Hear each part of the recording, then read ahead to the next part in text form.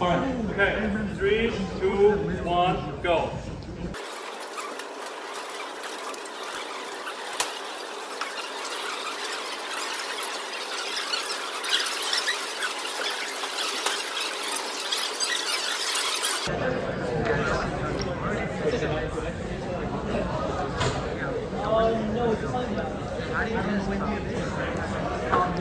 Unfortunately, they didn't figure this out on stage, so here's the solution.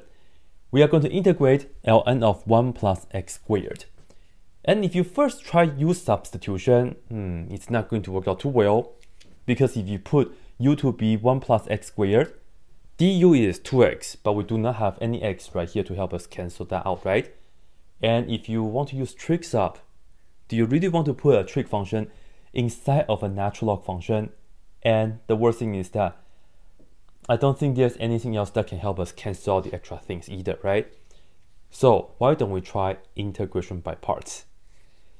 Here's the deal. Of course, we will be using the DI setup right here. Plus minus on the side to get ready.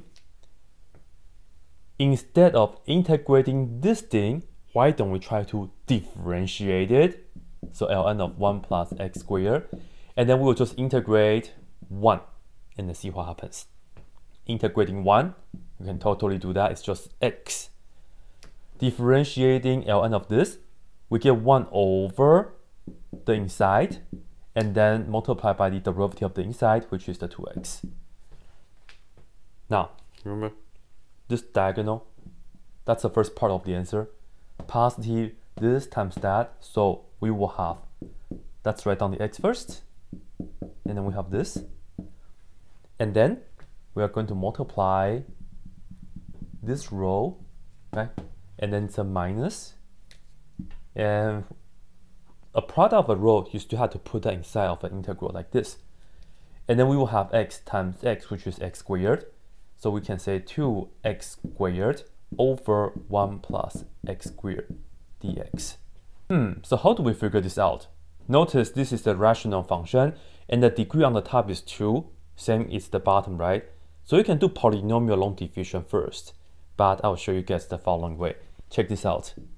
I'm going to rewrite this right here again, and then I will put the 2 to the front. And then here we have x squared over 1 plus x squared. Let's talk about how we can make good things happen in integral. Here, wouldn't it be nice if the top we also have the 1 plus x squared? Sure thing, because that way it's just be 1, right? But I cannot do that because otherwise I change the whole thing. It's okay. I put down the 1 plus, that, that's a positive 1. Just go ahead and minus the 1 at the end. So, if you look at this part now,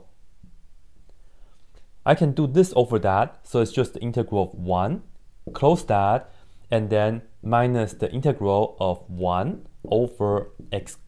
Well, let's put this down. 1 over 1 plus x squared dx. So, ladies and gentlemen, we can figure out the answer already because this right here stays. And then right here, we just have to do minus 2 times.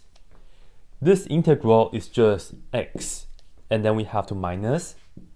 This integral is inverse tangent of x. Yeah, that's pretty much it. But at the end, I will distribute the two for you guys. So let me write this down one more time. And then we will have minus 2x plus 2 inverse tangent of x.